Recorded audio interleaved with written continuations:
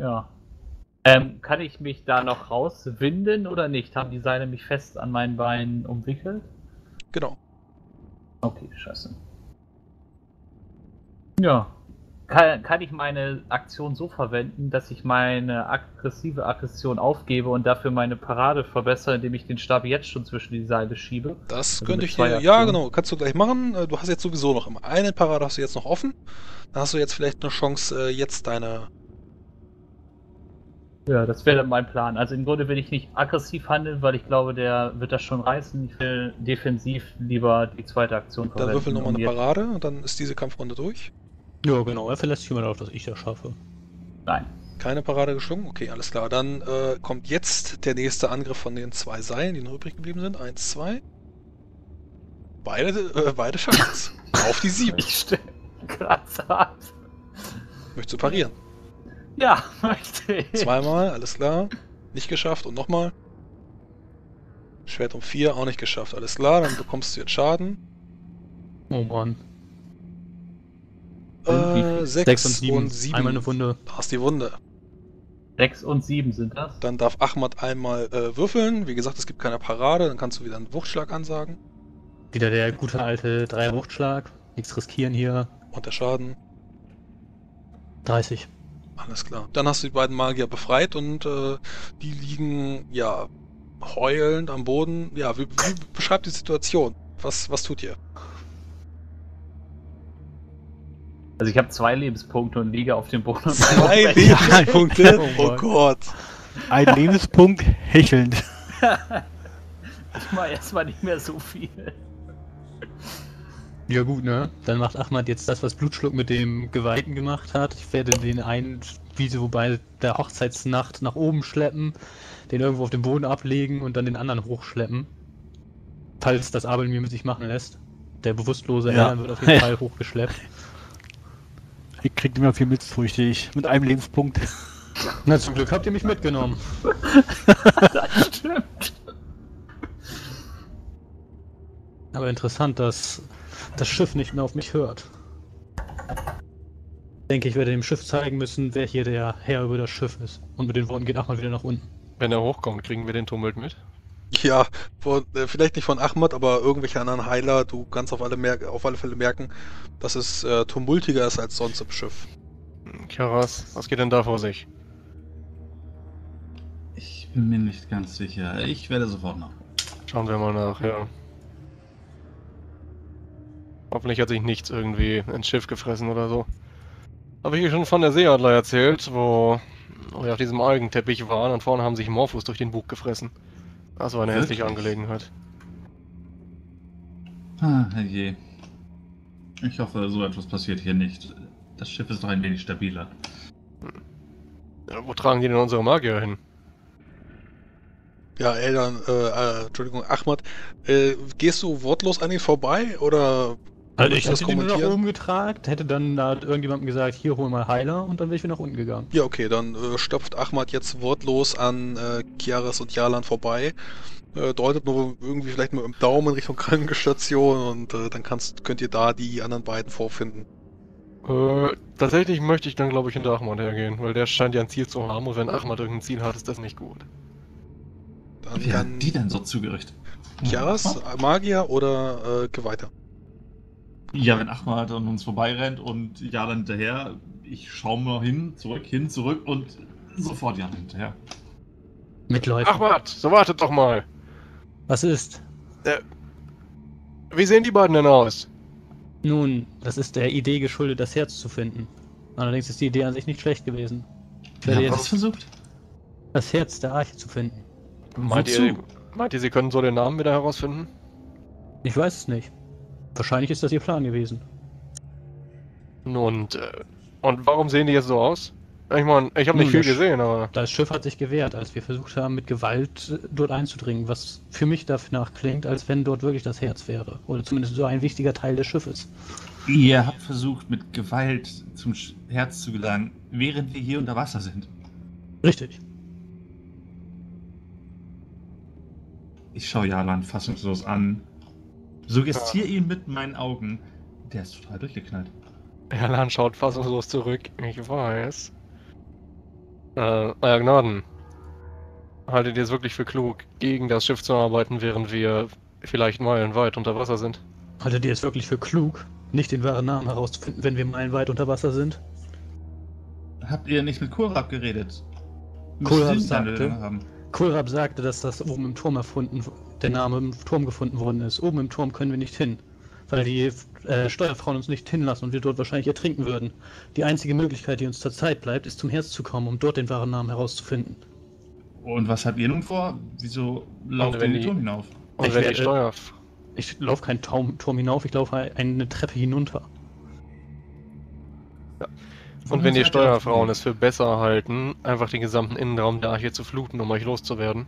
Nun, auf diese Idee könnten sie auch so kommen. Wieso sollten sie weiterhin, wenn sie die Gewalt hätten, uns noch überhaupt hier drauf dulden? Wir sind zwölf Götter gläubig. Und ich bin lieber sicher, dass wir den wahren Namen früh genug herausfinden, um dem entgegenzuwirken, als wenn wir hier hilflos der Eiche ausgeliefert sind. Dann holt doch das Schwert. Das Schwert. Und wo soll ich das hinstecken? Oben in die Steuertraum, wo wir, wenn wir hochgehen, ertrinken werden? Gute Idee. Soweit ich verstehe, muss man es nur halten. Ephalios hat es auch nicht immer in die Frauen gestoßen, wenn er den Befehl gegeben hat. Ihr wollt mal also sagen, ich brauche das Schwert nur halten, ja? Das ist zumindest sah es so aus, ja. Mal auf Klugheit. Ihr solltet allerdings das nur machen, wenn ihr euch wirklich sicher seid, denn äh, ich halte mal die vermutlich immer noch geschwärzte Hand hoch. Und wie überhaupt habt ihr euch vorgestellt, von dem Herz den Namen zu erfahren? Jalan, Klugheit. Nun, wir haben immer noch Ja, eine Klugheit. Ich hab's doch, ich hab doch, ich weiß schon, was passiert. Will trotzdem meine. Äh, nicht geschafft.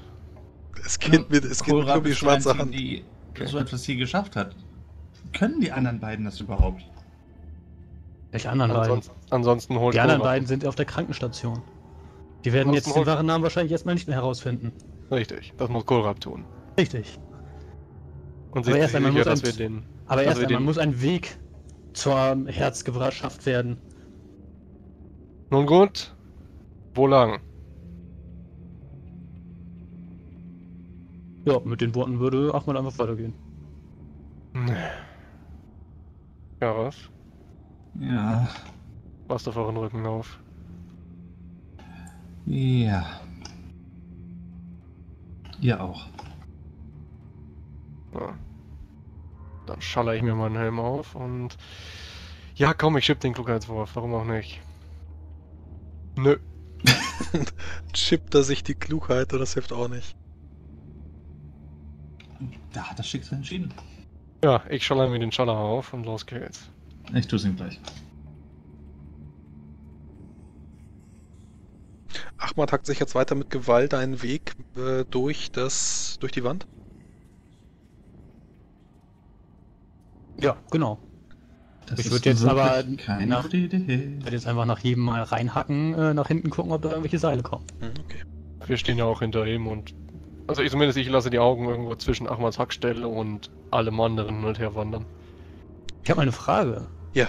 Kann, kann sich äh, unheilige Sachen eigentlich gegen heiligen Schaden wehren? Also regenerieren? Geht das? Ich bin mir da nämlich gar nicht so sicher. Ähm, naja, also das ist jetzt ja, also das Schiff bekommt Schaden. Das Schiff hat Mhm. ungefähr so roundabout 2000 Lebenspunkte. Und ähm, das, was, das, was es jetzt macht, ist eine profane, äh, ein, ein Kitten mit Unwasser, was dann eben aus, äh, aushärtet und äh, zäh wird. Aber es ist jetzt keine, keine Regeneration von Lebenspunkten, die das Schiff jetzt hat. Darum geht's nicht. Geht nur darum, dass der, dass das, ähm, das Schiff arbeitet jetzt gerade äh, demonstrativ gegen dein Schwert. Aber wie gesagt, wenn du jetzt hackst und hackst und dich umguckst nach irgendwelchen Fallen, ähm, du wirst dann auf alle Fälle dir einen Weg bahnen können.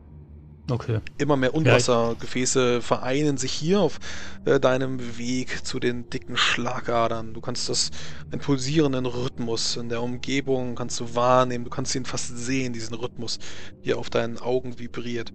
Du kannst das Blut spüren, was durch deine Venen und Arterien rauscht. Bist dir nicht ganz sicher, ob du dir gerade selber Schaden zufügst, denn du hast immer mal wieder so ein paar Momente vor deinen Augen, wenn du denkst, dass du dich gerade selbst aufschneidest. Dass du das Herz bist. Du pumpst mit dem Herz. Und dann Ahmad. stehst du auf der Rückseite eines halbkugelförmigen Raumes von ungefähr fünf Schritt Durchmesser, in dessen Zentrum das Archenherz pulsiert. Ist das Zwei wirklich Schritt. gute Idee, das jetzt zu machen? Ein zwei Schritt messender Klumpen aus feinstem Blattgewebe, in dem massenverderbtes Unwasser gluckert. Oberschenkeldicke Adern führen hier in alle Richtungen und das Herz hegt hinter feinen Gespinsten. Zahlreiche dünne Zweige wird hier in der Schwebe gehalten. Du kannst am Boden einige hunderte, tausende, abertausende Archenkäfer erkennen, die hier einen immerwährenden Tanz führen. Und dann dreht sich eine bewegungslose Gestalt um mit einem einzigen Schritt. Du blickst in tiefe ja, Augen, wenn man dazu Au- Augen sagen kann. Du stehst vor einem Leibwächter, der jetzt auf dich zukommt. Okay. Ja, ich würde erstmal da stehen bleiben. Mit dem Schwert erhoben. Mhm. Er da. stellt sich so vor den Eingang, ähm, den du gerade geschaffen hast, dass du das Herz selber nicht angreifen kannst. Ja, ich würde, das, ich würde sowas ähnliches machen. Ich würde mich so positionieren, dass sollte Ahmad etwas Dummes versuchen, das Herz anzugreifen, dass ich seine Waffe parieren kann. Du kannst an ihm noch da, weiter vorbei, kannst weiter noch an ihm vorbeischauen und siehst dort eine groteske, gluckernde, ja, einen gluckernden Thron, ein Schrein von Charybdorot. Das hast du in den Sagen und Legenden schon das ein oder andere Mal gesehen. An Fischerdörfern gibt es vielleicht so etwas, aber hier auf der Arche und Ja, dort schaut- hinter, ja, wie gesagt, noch eine weitere Szenerie. Würfel nochmal eine Sinnenschärfe-Probe, sie ist nicht erschwert. Das finde ich gut. Die kann ich schaffen. Nur Ahmad oder? Ja, könnt ihr alle werfen. Vielleicht auch nicht. Uh. Einen über. Das Anthropeum. Hier könnt ihr sehen, wie Delfine verwest von der Decke hängen mit Kabeln bzw. Adern, die durch ihren Körper gebohrt worden sind, die auch hoffnungslos schon verrottet sind. Und äh, einige Dinge, die sich aufgelöst haben. Unwasser wird durch ihre Adern gepumpt und die Delfine haben sich äh, hoffnungslos verfärbt, sodass sie kaum mehr als die Tiere wahrgenommen werden äh, können, die sie einmal waren. Das Ich- ist das Zentrum des Schiffes. Darre dorthin und mit offenem Mund, ja, mein Rapier fällt, ja, scheppernd zu Boden. Was? Ja, Bei Ahmad. Ja, Ahmad hat keine Augen dafür, der sieht das gar nicht, sondern mustert nur den Leibwächter des Herzes aus dem Weg, wenn ihr den heutigen Tag überleben wollt. Er spricht nicht. Er ist völlig bewegungslos. Dann gehe ich einen Schritt auf ihn zu. Mhm. Ungefähr noch äh, drei Meter, die dich von ihm trennen. Ähm, wenn du weiter auf ihn zugehst, dann bist du auf alle Fälle in Waffenreichweite. Ahmad. Tut nichts Unüberlegtes. Und ich gehe noch einen Schritt auf ihn zu. Schnell ziehen, Zweihänder, gezielter Stich.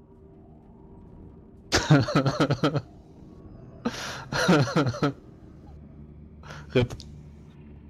Ich, wir wir, können dir nicht helfen, du bist, stehst alleine in einem engen Gang.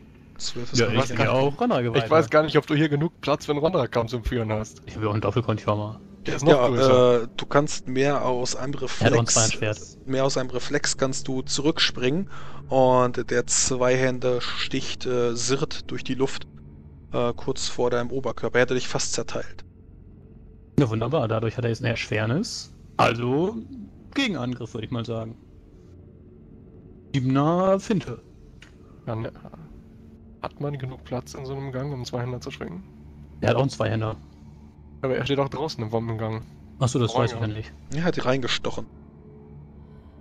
Ein Ja, Doppelkontioma, wie, wie führst du den? Ist das ein Säbel oder Nee, das ist ein Doppel Zweihandschwert. Zweihandschwert? Okay. Äh, Säbel, Entschuldigung. Ja, Säbel, ne? Zwei, Zweihandsäbel. Genau. Da musst du schneiden. Und schneiden kannst du aber nicht. Du kannst stechen. Dann versuch's trotzdem. Genau. Beengte Verhältnisse, lange Schwungwaffen, AT plus 6. Ähm, was hattest du gesagt? Du hast plus 7? Er hat trotzdem geschafft. Plus 6 ist trotzdem geschafft, ja. Okay, dann würde er versuchen eine einfache Parade. Sie ist erschwert um 7. Plus seine eigene Erschwernis. Ja. Oh nein, why? Er schlägt deine Waffe zur Seite und ja, rennt dann. Nee, er rennt nicht. Er ist, er ist, er ist cool. Er bleibt stehen. Er, er rennt, aber er ist cool. Ja, nee, nee, er, er, bleibt, er bleibt stehen und äh, sticht noch ein weiteres Mal nach dir. Wie gesagt, seine, sein Zweihandschwert hat er schon, sticht weiter äh, auf dich ein. Also führt sie jetzt nicht schwungvoll, sondern sticht wie fast wie ein. Du merkst auch, er ist, er ist eigentlich zu groß für einen Menschen. Er hat eher die Maße eines Trollzackers äh, oder eines großen Torwalers. Das ist das eigentliche, ähm, wie er hier wohl gerade Probleme auch in diesen engen Räumen hat. Aber er sticht jetzt mit diesem Schwert und versucht es einmal. Das gelingt. Wieder der gezielte Stich. Ich blicke währenddessen ungläubig zwischen, zwischen Ahmad und Kareno hin und her. Sechster Erschwernis habe ich durch den Angriff, ne? Die Parade ist plus zwei. Ja, dann versuche ich jetzt einfach mal normal anzugreifen. Ja, ich stehe da, bin viel zu perplex und geschockt von dem Anblick noch. Ich nehme viel zu viele Details von dem da war, was von den Delfinen geschehen ist. Mhm, kann er nicht parieren.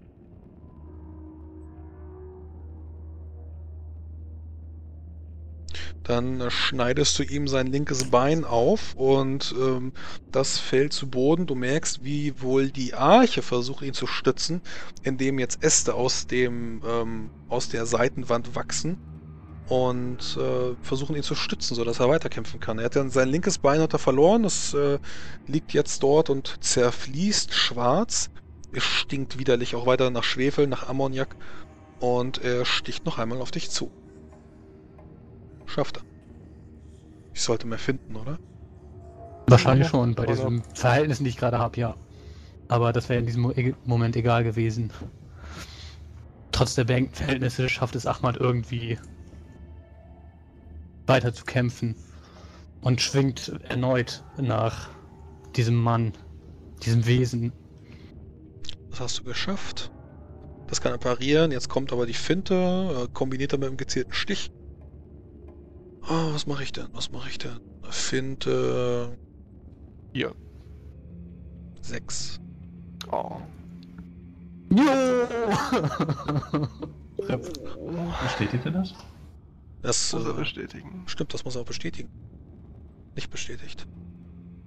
Achso, die Immer gar 20, nicht ist, die hin. 20 ist nicht angekommen. Dann nochmal. Nee. 16. Er hat eine 10er Erschwernis. Schafft er nicht. Also einfach nur die Finte 6. Äh, Sechser Erschwernis und dann halbe Parade davon oder andersrum? Hm, ja, Ähm, immer erst mit Erschwernis. Genau, du musst jetzt erst einmal Parade plus 2 durch die beengten Verhältnisse und die Finte 6 sind 8 und dann halbiert. Hast du da überhaupt noch Parade? Also was jetzt? Minus, minus 6 und dann was? Dann erst erschwert um 8 und dann halbieren. Erst Sechs Schwert Punkte, um 8? 6 Punkte Erschwernis für die Finte, 2 Punkte Erschwernis für dein beengtes Verhältnis, macht 8 Punkte Erschwernis. Und die Acht Punkte Halbierung und kommt dann die immer, Hälfte? ja, die Halbierung kommt immer, nachdem alle Modifikatoren aufgerechnet wurden. Dann würfel ich jetzt auf die 5. Ich würfel einmal ein W20. Nö.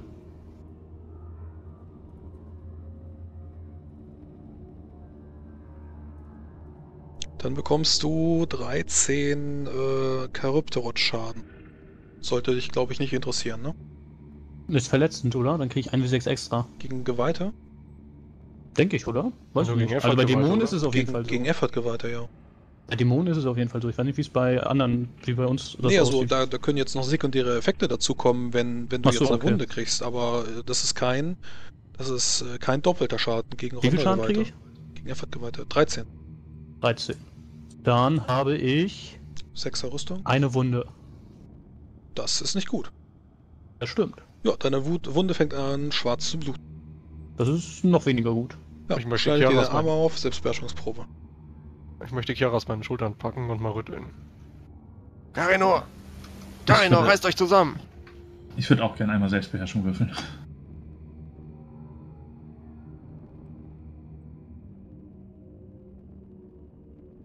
Ja, ich schaff's irgendwie diesen Blick von den Gräueltaten da abzuwenden, die Galle runterzuschlucken. Kapitän, ja. Ich schüttel mich noch einmal und greife dann nach meiner Waffe. Wir können da nicht rein. Ja, schauen uns an, wie das ausgeht.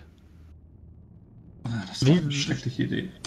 Wie weit bin ich jetzt eigentlich in diesem Gang? Ich kann mir, ich bin ja nicht auf Map-Tools. Wie, wie kann ich mir das vorstellen? Wenn ich jetzt einen Schritt nach vorne mache und dann er mich dann nochmal schlagen kann, bin ich dann außerhalb dieses Raums? Du, du, kannst, du kannst nicht einen Schritt vortreten. Also ähm, guck, dir, guck dir, wie gesagt, die Zeichnung an.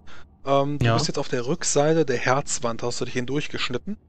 Und äh, stehst jetzt eben in diesem durchgeschnittenen Gang. Direkt vor dir das Herz und er hat sich jetzt hinter das oder vor das Herz geschoben, sodass du es eben nicht angreifen kannst.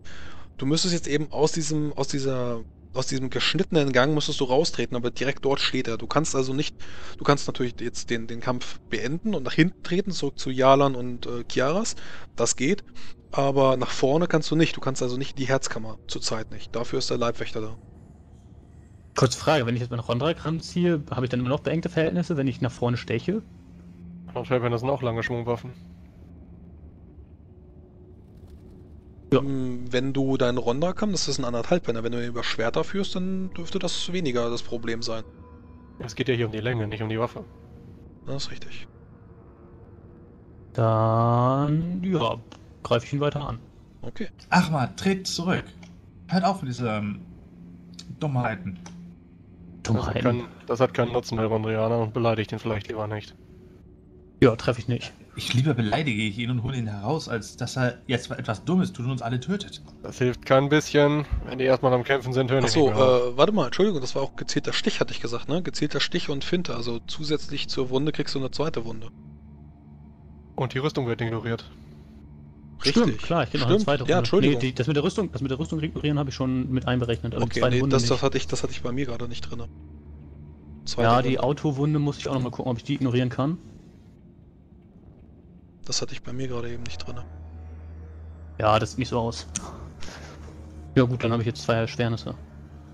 Okay, das war jetzt nur die ignorieren. Okay, dann, äh, er hatte jetzt getroffen, ist aber auch nur gezielter Stich, ich habe keine Finte angesagt.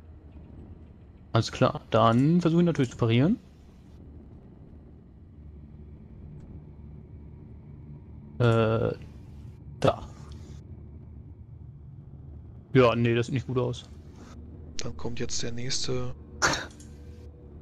Achso, Entschuldigung, das war. Nee, den W20 wollen wir nicht. Verzeihung, ignorieren. Plus 6 sind 11. Das ist eine weitere Wunde und eine Auto, weitere Autowunde Trefferzone. im Bauch. Das sind 2 bis 6 zusätzlich. Ja. Ahmad. Wie viel Schaden war der zweite nochmal? Äh, 11. Das sieht gut du aus. diese Trottel so etwas machen, während wir unter Wasser sind? Mm, Achmad macht den strategischen Rückzug. Ja, du trittst, du du trittst aus Rondrianer? dem, du trittst aus dem geschnittenen Raum wieder zurück, ähm, siehst wohl, wie noch weitere zähe Öl, Unwasserfäden hinunterlaufen und ganz langsam versuchen wieder diesen Gang, den du geschnitten hast, wieder zu zerfließen. Und äh, ja, Kolja, der Leibwächter, bewegt sich nicht. Er steht immer noch bewegungslos dort, steckt über schnell ziehend seine Waffe wieder weg. Ja, ist Ahmad, warum tut ihr sowas? Liegt Nun. er eigentlich auf den Beinen? Hat er noch HP? Du kannst sehen, wie wohl seine Rüstung zerschnitten ist am Arm und an seinem Bauch und er blutet schwarzes Blut. Zeig mir eure Wunde. Ja, ich zeige ihm meine Wunde. Ich atme schwer und ja, wirke nicht gerade sehr begeistert. Ich würde gern versuchen, Erste Hilfe anzuwenden, um zumindest Blutung zu stoppen. Ich verfluche mich inner innerlich dafür, dass Karino hier ist und wende mich mal dem Wächter zu. Wer bist du? Du kannst da jetzt gerne beliebig lang stehen, er wird nicht antworten. Ja. Hab mir schon fast gedacht, aber versuchen kann man es ja. Das sieht gut aus, dann kannst du ihn stabilisieren. Wieso stabilisieren? Ich bin nicht auf unter null Lebenspunkte. Ja, trotzdem, stabilisieren, ne? Also dir geht's, dir geht's gerade richtig schlecht. Das stimmt. Ja, ungefähr fünf Minuten später, äh, wahrscheinlich im Kranken, in der Krankenstation, Jupp. können die beiden Magier, die äh, dort immer noch äh, auch mit ihrem Leben ringen, allerdings aus ganz anderen Gründen, können sie sehen, wie Ahmad sich dazu gesellt und aus vielen Wunden schwarzes Blut. So Äh, lächerlich. Ja. Achmad nickt die beiden mal zu. ich hab's auch nicht geschafft. Ein schwaches Das Lächeln. sagt man nicht, aber. Also das sage ich nicht, aber ja. Ich schaue die beiden an und nick ihnen einfach nur mal zu. So von wegen, ja, ich bin jetzt auch hier. Da ich leider ohnmächtig bin, kann ich nicht zurücknicken, aber im Geiste. Ja, Geist- doch, klar. Du, irgendwann, du wirst ja auch wieder wach, ne? Also du bist dann irgendwie fünf Minuten ohnmächtig, wenn du bei äh, unter 5 LEP bist, aber dann kommst du ja auch wieder zu dir. Ist ja nur in Kampfrunden. In Kampfrunden hast du dann verloren. Meine So, ja, okay, dann schrei ich vermutlich gerade ziemlich hart. Okay, dann wird dem nicht zugenickt, dessen Pussy. ich gehe erstmal zu ihm hin und, und äh, ich will nicht sagen, ich halte sein Händchen, ich drücke ihm auf die Schulter. Eltern, Zähne zusammenbeißen.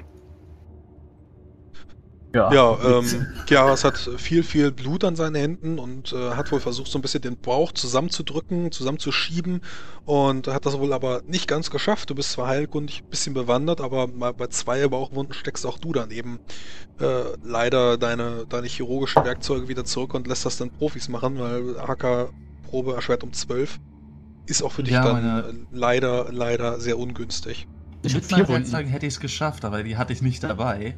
Ich habe ja versucht, ihn nur zu stabilisieren, dass er nicht verblutet, direkt bis er zur Ra- Krankenstation kommt. Immer was los Aber- auf dem Schiff. Immer was los auf dem Schiff. Murmelt die beiden äh, Magister, also die Fälscher und äh, ja, äh, geben, geben weitere Tränke und Tees aus und Salben und kümmern sich. Was habt ihr euch dabei gedacht? Gute Frage. Das erklärten wir bereits. Beziehungsweise ich. Verzeiht, Captain. Wir waren Narren. Dies allein angehen zu wollen. Und die gute Nachricht ist, wir haben das Pferd, das Pferd sage ich schon, das Herz gefunden. Oh, habt ihr es... Nein, ihr habt es nicht getötet. Offensichtlich hat das Herz einen Leibwächter. Am Türrahmen, wenn man sowas sagen kann, stehend, lehnend, kann Ahmad jetzt sehen, wie Bisfabul höhnisch lächelnd dort steht. Er sagt nichts. Ja, der wird ignoriert. Ich wollte es nochmal betonen. Das war mir jetzt geguckt. wichtig.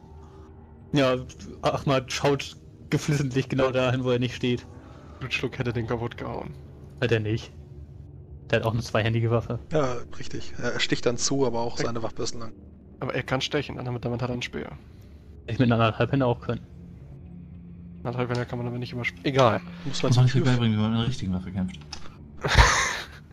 Ephadaios Verrat wiegt tiefer, als ihr alle denkt. Offensichtlich, Das ja. ich auch. Ja. Hättet ihr gesehen, was da drin ist? Nein, ich will es mir gar nicht vorstellen.